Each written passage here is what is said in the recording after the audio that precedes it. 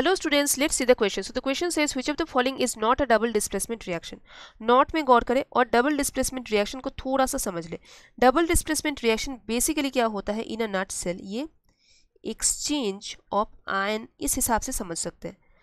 एक एग्ज़ाम्पल दे देते हैं। A B plus C D से अगर हम डबल डिस्प्लेसमेंट रिएक्शन के बारे में कहें तो हमें मिलेंगे A D plus C D basically यहाँ पे जो कैटायन एंड एनायन है, उसके एक्सचेंज हो रहा है। तो यहाँ जो दिए गए ऑप्शन है ऑप्शन में हम देख लेते हैं कि ऐसा कहाँ हो रहा है और कहाँ नहीं हो रहा है। तो चलो एक एक करके ऑप्शंस को देखते हैं। देखो पोटेशियम हाइड्रोक्साइड के साथ रिएक्शन हो रहा है फॉस्फोरिक एसिड का और बन रहे हैं पोटेशियम फॉस्फेट एंड वाटर तो वाटर को अगर हम तोड़ते हैं तो कुछ इस तरीके का दिखेगा। H plus and O H minus right तो यहाँ आप देख लो कि जो ओ OH था पहले, वो पोटेशियम के साथ जुड़ा हुआ था। अभी वो वाटर में क्या है? हाइड्रोजन के साथ जुड़ा हुआ है। और हाइड्रोजन के साथ जुड़े हुए ये जो फॉस्फेट एनायन है, अभी वो प्रोडक्ट में क्या है? पोटेशियम के साथ जुड़े हुए हैं। तो यहाँ पे एक्सचेंज हुआ है कटैन एन एनायन का। यानी ये डबल डिस्प्लेसमेंट रिएक्शन है टिक मार्क कर लेते हैं। नेक्स्ट में आ जाते हैं। कॉपर सल्फेट रिएक्शन कर रहे हैं हाइड्रोजन सल्फाइड के साथ।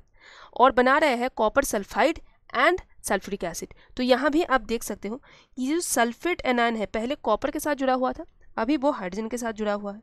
ये जो सल्फाइड एनायन है, वो पहले हाइड्रोजन के साथ जुड़ा हुआ था, अभी वो कॉपर के साथ जुड़ा हुआ है।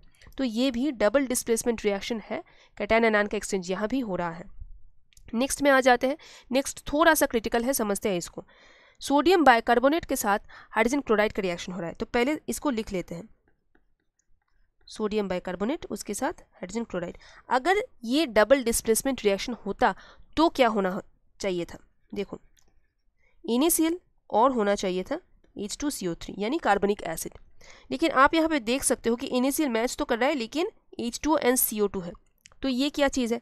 देखो, ये जो कार्बनिक एसिड है ना, ये बहुत स्टेबल नहीं है, ये टूट जाएगा और किसमें टूटेगा? H two O N C O two में।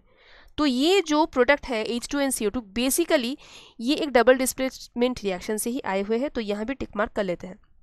लास्ट में आ जाते हैं। ये है नाइट्रोजन ये है हाइड्रोजन जहाँ से हमें एमोनिया मिल रहे हैं, और आप यहाँ देख सकते हो कि मोर देन वन रिएक्टेंट्स है, जहाँ से हमें एक सिंगल प्रोडक्ट मिल रहा है। तो ये जो एग्ज़ाम्पल है डी में दिए गए ऑप्शन में, जो एग्ज़ाम्पल है, वो बेसिकली कॉम्बिनेशन रिएक्शन का है।